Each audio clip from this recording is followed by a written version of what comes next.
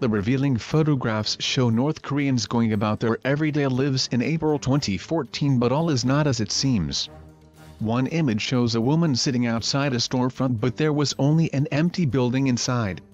Other shots show people waiting at bus stops, reading train timetables and taking a stroll through a public park. The pictures were taken in Pyongyang, North Korea by freelance photojournalist Gavin John, 31, from Calgary, Canada.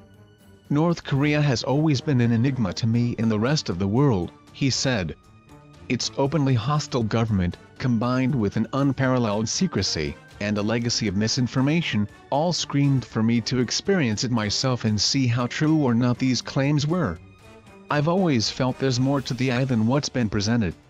Visiting North Korea is truly like stepping back in time to the Soviet Union in the 1970s.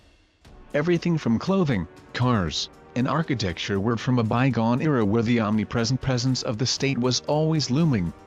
Propaganda posters of glorious battles were in the places where advertising would be, and large flowing flags of North Korea hung off every street corner and building. However, I found everyday North Koreans a kind and gentle people where curiosity was the prominent reaction to my presence there. I tried to focus my images on these people, their interactions with each other and myself. Gavin, who shot the photographs with a D800 camera, didn't declare he was a journalist before entering the country and took pictures of military relaxing, something which is forbidden. On the last day I was pulled aside and told I had been reported to the Ministry of Interior's police for suspicions of being a journalist, he recalled. Needless to say, it was one of the tensest nights of my life talking my way out of a potential jail sentence for taking unauthorized photos. I dodged that bullet, no pun intended, by handing over all my memory cards and hard drive of my laptop over to the North Koreans.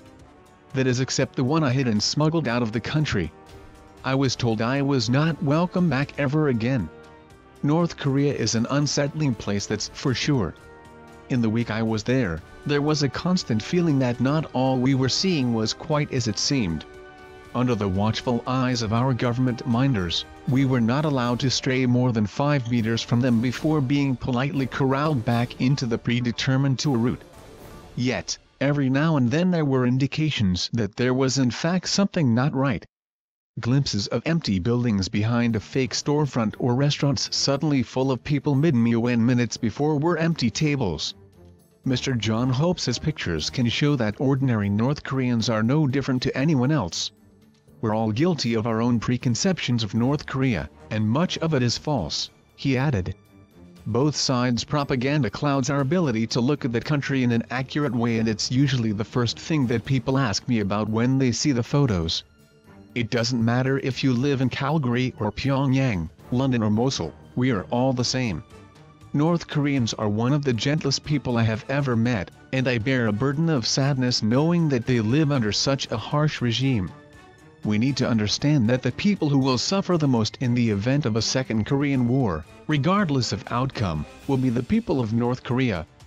I hold nothing but disdain for the government of North Korea, and nothing but admiration for the everyday people of that country. If people back home can understand and separate the two, then I have done my job.